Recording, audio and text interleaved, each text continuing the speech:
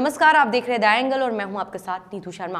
राजस्थान में कोरोना संक्रमण के मामले भी तेज़ी से बढ़ते जा रहे हैं ऐसे में। इसे ध्यान में रखते हुए अशोक गहलोत सरकार ने आज राज्य की सीमाएँ सात दिन तक सील करने के साथ ही एक नई गाइडलाइन भी जारी की है। इसके तहत राज्य सरकार का प्रयास है कि कोविड 19 को नियंत्रित करने के लिए अंतर्राज्यीय आवागमन को नियंत्रित किया जाए। चलिए आपको ग्राफिक्स के ज़रिए बताते हैं कि इस नई गाइडलाइन के अनुसार क्या नए निर्देश प्रदेश सरकार की ओर से जारी किए गए हैं। विदेशों से लौट रहे लोगों को 14 दिन का क्वारंटाइन पूरा करना अनिवार्य। है प्लेन, ट्रेन या बस से आने वाले यात्रियों की स्क्रीनिंग करनी होगी। सड़क मार्ग से आने वाले लोगों की बॉर्डर पर ही स्क्रीनिंग की जाए और आईडी चेक हो। राज्य से बाहर जाने की अनुमति केवल पास वाले व्यक्तियों को होगी।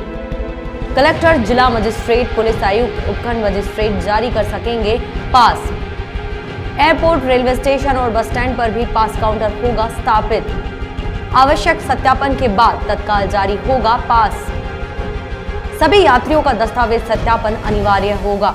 इस तरह प्रदेश में कोरोना संक्रमण के फैलाव को नियंत्रित करने के लिए राज्य सरकार निरंतर प्रयासरत है। ऐसे में ज़रूरी है कि हम सब भी अपनी ज़िम्मेदारी समझते हुए आवश्यक सावधानियाँ बरतें और अगर बहुत ज़रूरी है तो सरकार की गाइडलाइंस की पालना करते हुए यात्रा करें।